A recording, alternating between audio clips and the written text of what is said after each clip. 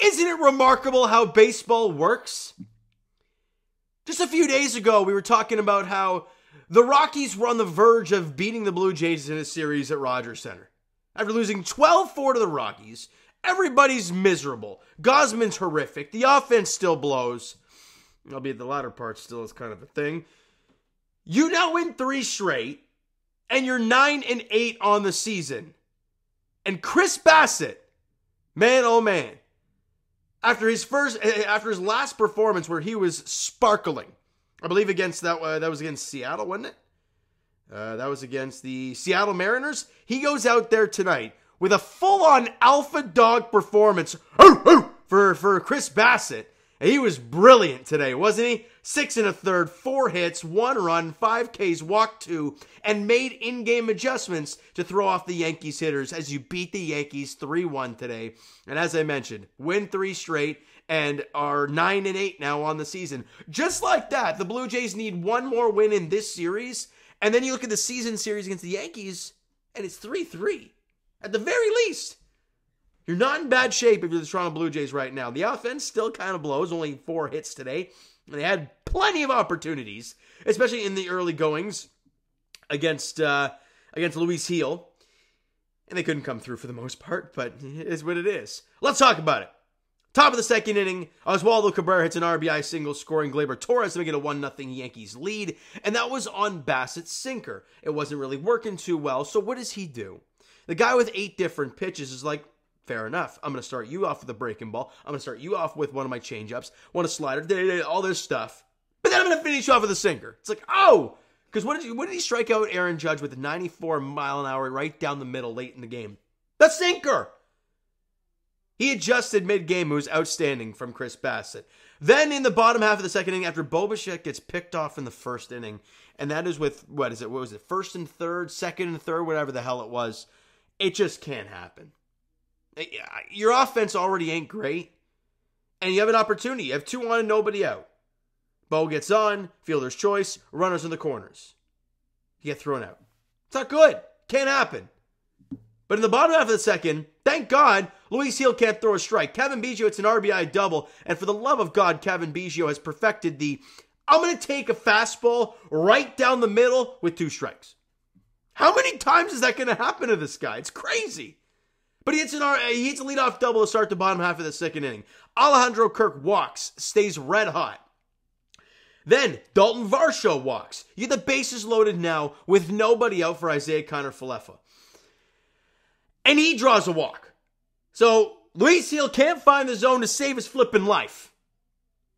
You've walked in a run. It's a tied game. The bases are still loaded with nobody out. And Kevin Kiermaier we, we all got to have a hard conversation with this guy. I, I truly believe this might be the end of KK. I hope I'm wrong because of the vibes and the defense he brings and all that. But offensively, he ain't giving you much. He's getting beaten by fastballs left and right. And on this specific plate appearance, Luis Gil can't find the damn zone. He has walked three straight guys. He cannot throw strikes. He's walked four in the first inning and what inning plus batters. And KK goes up there and swings at the first pitch up at his face.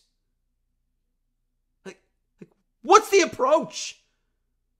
You got to be waiting back. Let him come to you, maybe even twice since you're the number nine hitter. But no, KK strikes out, swings at all three pitches, not even strikes. It's an awful at bat for Kevin Kiermaier, and he goes down without a fight, and there's one away.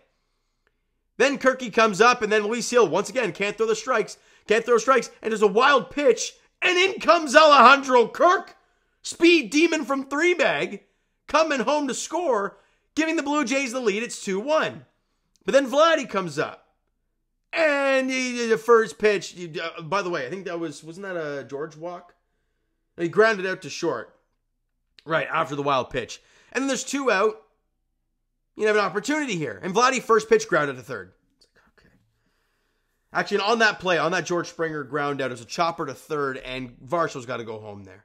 He absolutely has to. He, I think he knew it right as he didn't go and then got back to third base. He knew he screwed up there. But against the Yankees, it didn't it didn't bite you in the ass today. But those type of things, extra 90 feet, extra runs, they can come back and haunt you. And then Vladdy first pitch ground out of third. It's like, okay, well, Vladdy again, no clutch, no clutchness in, in his body right now. It's it's incredible. Sure, exit velocity, all that stuff. It's into the ground. Doesn't mean a damn thing if the exit velo is right into the dirt. But you do have the lead. It's now 2 1 Blue Jays, but the bases loaded and nobody out, and you really couldn't do squat with it, you got to make them pay, especially against a good team like the Yankees. But then Chris Bassitt just settles everything down, and in the bottom of the third inning, an infield hit from Bo Bichette. Then I believe it was a stolen base from Bo Bichette. Kirky then comes up and drills one down the, down the third baseline, stays fair, goes into the corner, Kirky's got his first extra base hit of the season. Thank God for that. And it's an RBI double as B, as Bichette comes in to score. Kirky stays hot, and he's the Blue Jays now lead at 3-1. Yeah, that's all she wrote. So let's into the player stats offensively. Well, your top of the lineup didn't give any hits. If you combined all the hits they got, uh, they were what is that? Uh, uh, what is that? Two, four, is, is it eight, and then eleven? Is it 0 for 11? Sorry, 1 for 11. And Bo's hit an infield single. It's not good enough. And yes, walk twice for George. Vladdy, two walks. You know, uh, Turner had a walk. Sure. You're the top four in the order. You got to do damage. And your damage today was done by Kirk. You had four hits today. Four. Kirky had two of them. Biggio had the double, and then both an infield single. Thank God you make them all. You made them all worth it. That always worked that way. You don't always score three runs on four hits and do not hit a home run. Kirky two for three in the game of the run scored, an RBI, and walked once, getting his numbers back up. He's now hitting 200 on the year with an OBP of 293. The OPS is going to start climbing for him. It was 429 going into the game today. It'll probably be around 500 today after today, which is great for him. Um, but in the end, the offense still blows, right? Four hits, eight strikeouts, eight walks, which is nice, but you can't expect guys to walk all the time. You got to put bat to ball and do some damage.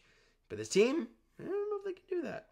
Chris Bassitt, as we mentioned, the hound on the mound, was brilliant.